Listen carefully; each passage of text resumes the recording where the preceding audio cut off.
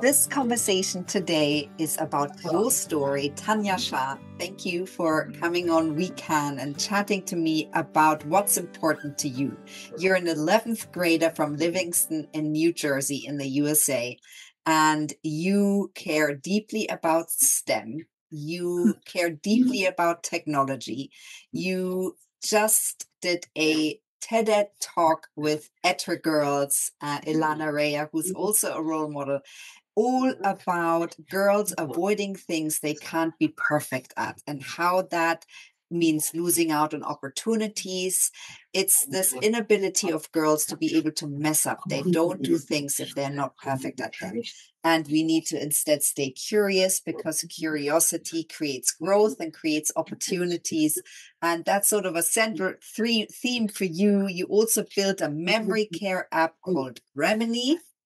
And we're going to talk about all of that, Tanya. So thank you for getting in touch. Thank you for um, telling your story today. Tell us a little bit what sparked your passion in STEM and technology.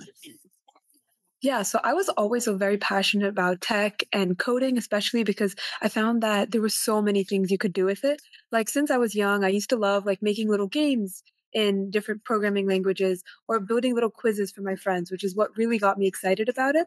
But then once I started to see more about the actual apps on like my phone, my laptop, my iPad, I realized that the power that technology can have for real widespread social good, which is why I knew I wanted to get more involved in creating an app or a website that could help real people.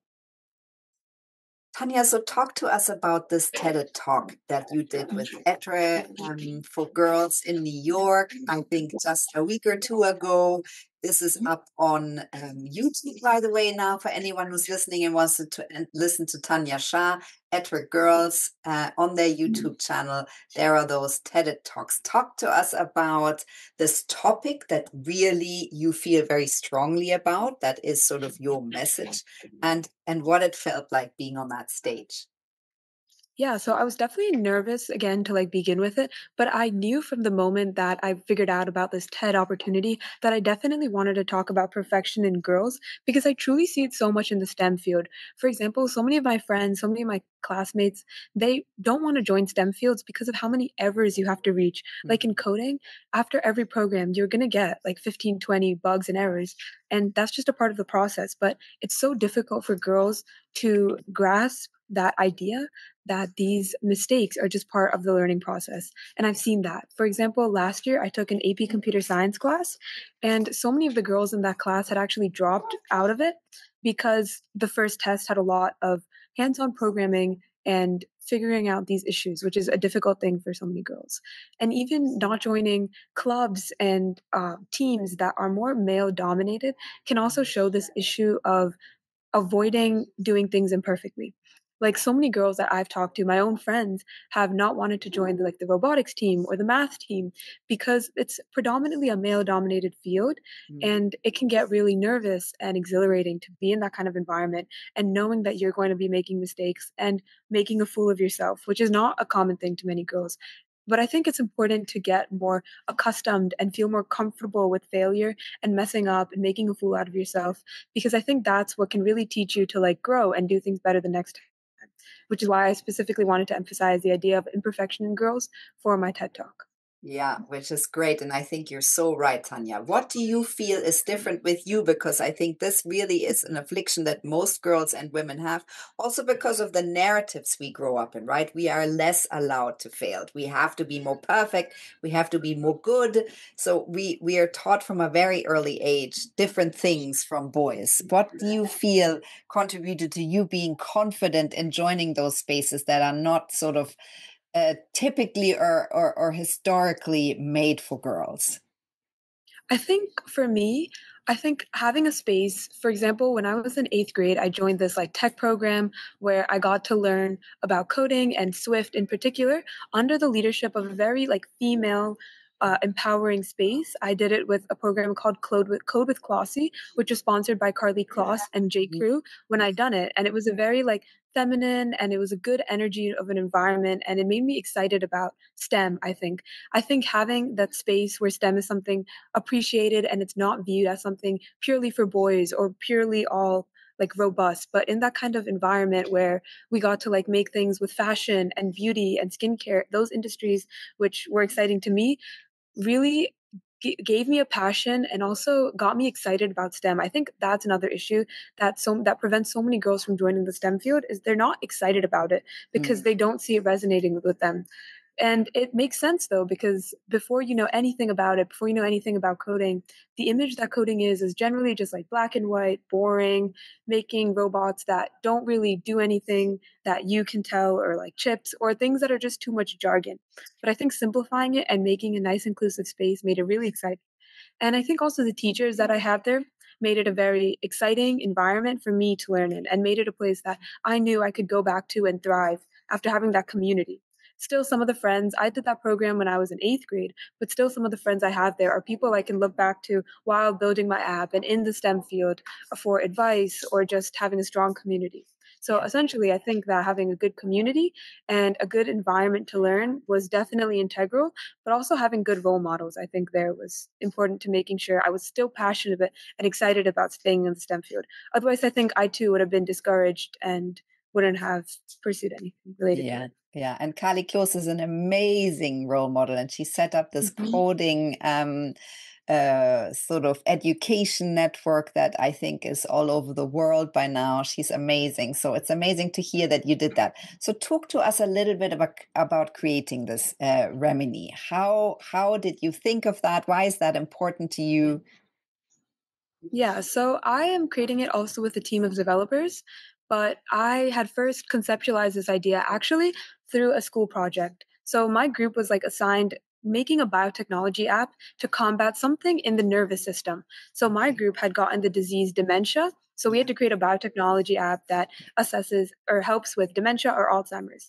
And at first, my group, I had proposed the idea of Remini, which is a memory care reminiscence therapy platform in which a caretaker can input photos and mm-hmm. questions, which are memories, and then the patient can answer those questions to reinforce their understanding of the people in the photo, when it was taken, and where it was taken. So at first, the idea was very shunned out by the rest of my group mates, and we actually ended up not even using it for the project.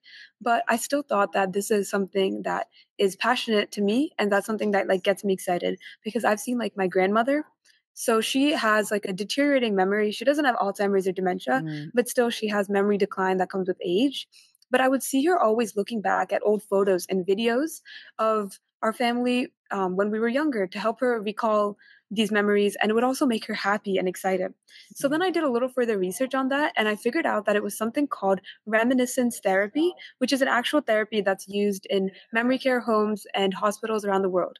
And I realized that there was no way to digitize this reminiscence therapy of looking back at old photographs and having conversations about them to reinforce memory.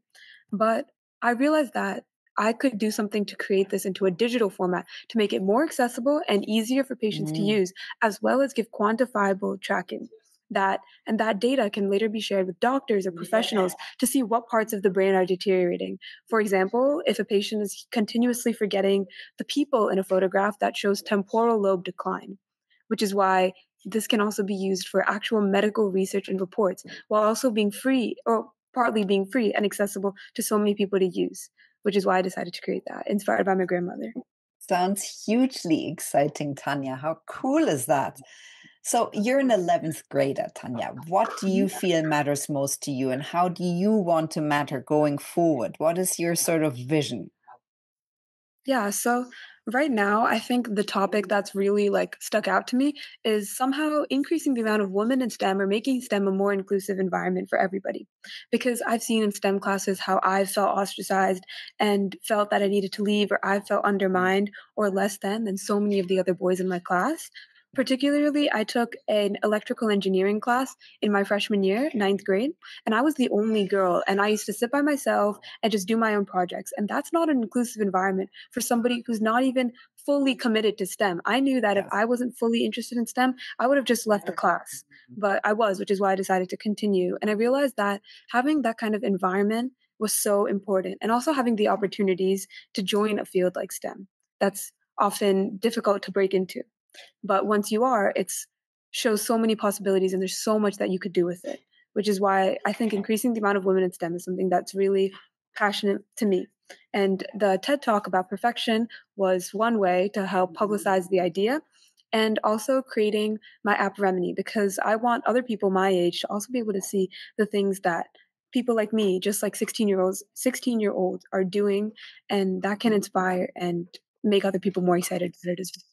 Yes, Tanya. And I really think that we grown-ups have to listen to you young people much more because it's your future that we are all a part of and you're also a part of it and it doesn't mean that you're 16 and therefore your opinions or your insights are less valuable um, tanya so what do you feel makes you sort of feel powerful and aligned and in integrity with yourself mm-hmm. I think having a good community and people that support you is really important. I think like having a close group of people that you can go to when you have issues, whether it be something in the STEM field or you're feeling ostracized or alone, can really be helpful, I think. For me, I have a group of friends in some of my classes that we always work together on coding projects, and it's really inclusive and it doesn't feel like a competition or that you're not allowed to make mm. mistakes because making mistakes is definitely part of the process in STEM and it can help everybody grow and learn. Definitely, definitely. What do you feel are deal breakers for you? Uh, sorry, um, what do you mean? What do you feel are deal breakers for you? You know, when you have a sort of situation and you think, no, that's a hard no for me.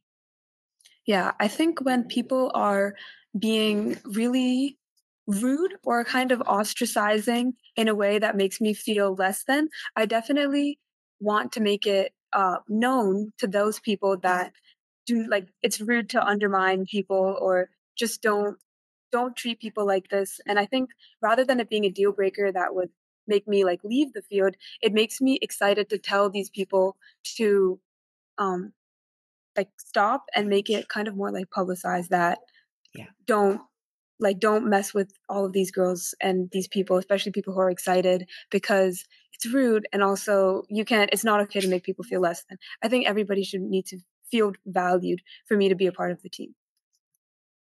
And yet you've done so much and what do you think success looks like for you I think having one day being part of like tech environments that are like exciting and that I feel celebrated in, but not just me, where all girls feel celebrated in, and being able to like go to tech conferences or meetings and seeing these people who are equally excited as me is definitely what I think success would be. Tanya, what are your plans and goals? What you what what what what are you working toward? Mm-hmm. So I'm definitely working currently to expand the outreach of my app. It's going to be ready to launch by the end of November. So I definitely want to gain gain more feedback and testing about my app that I can like later implement into like other beta versions and make this more um kind of like a household thing in hospitals and in dementia care families because I really think that such an accessible solution could be really helpful. Yeah, it will be super helpful. So how do you, what would you like our listeners to take away from your story and your learnings and your insights? So for me, I think that like what I would want people to take away from this is just getting being okay with making mistakes and imperfection, especially in the STEM field and especially for people my age. I think I would want people to try new things and get excited about these new things and just inspire more curiosity with people is what I want. Tanya, you are a role model and you know that and you've been on the TEDx stage and you are you're reaching for those opportunities where you can role model. Who are your role models? Who do you look to to find inspiration and motivation? So one of my most biggest role models is actually Reshma Saujani who's the CEO of Girls Who Code. Yes. And I had like the honor of meeting with her uh, two years ago. And we talked a lot about the idea of imperfection in girls. And that was the first time that this topic had been open to me because she also wrote a really inspiring book called Brave, Not Perfect. Yes. And I also, so she's definitely one of my biggest role models. But I also think that Emily Weiss, who's the CEO of Glossier, mm. uh, the makeup company. I read a book about her and seeing her story and her entrepreneurial drive, especially with when Glossier was just a small startup, is definitely inspiring. And I definitely want to embody some of those characteristics when I'm building my own. Tanya, mm. I think you are amazing. We are big fans. We are so grateful that you got in touch, that you told your story here. We can't wait to interview you again when you're further down the road. We're excited that you're getting more girls to come into the STEM and the technology field because we're living in the age of a technological revolution and we need many more girls and women to be a part of it.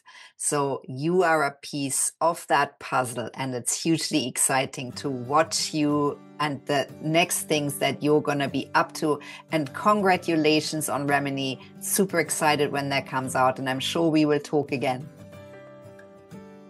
Thank you so much. I look forward to it as well. Thank you.